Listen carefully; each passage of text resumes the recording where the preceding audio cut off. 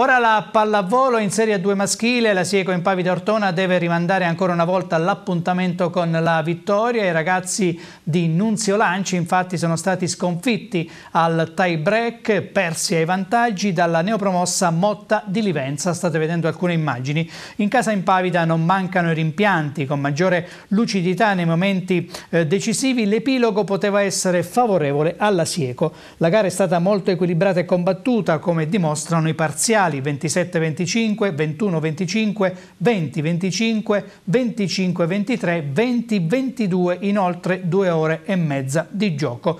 Il punto conquistato è comunque un'iniezione di fiducia per l'Impavida che ha dimostrato di saper giocare una buona pallavolo. Manca un pizzico di tranquillità che magari si acquisirà centrando il primo successo stagionale. Domenica prossima Sieco impegnata in trasferta a Brescia.